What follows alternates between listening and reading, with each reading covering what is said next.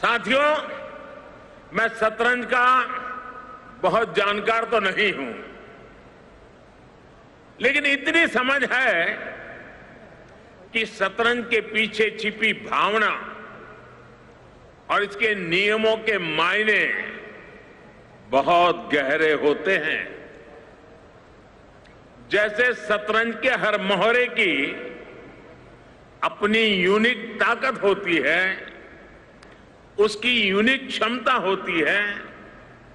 अगर आपने एक मोहरे को लेकर सही चाल चल दी, उसकी ताकत का सही इस्तेमाल कर लिया तो वो सबसे शक्तिशाली बन जाता है।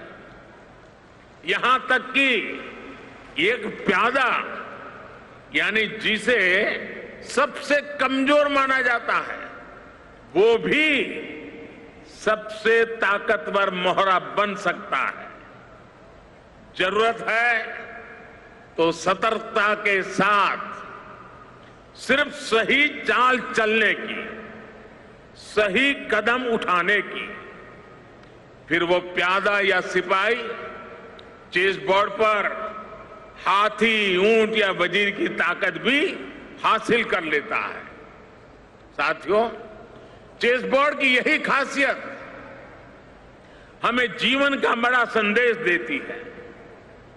सही सपोर्ट और सही माहौल दिया जाए तो कमज़ोर से कमज़ोर के लिए भी कोई लक्ष्य असंभव नहीं होता। कोई कैसी भी पृष्ठभूमि से हो, कितनी ही मुश्किलों से आया हो पहला कदम उठाते समय अगर उसे सही मदद मिल जाए तो वो शक्तिशाली बनकर मन चाहे नतीजे ले सकता है।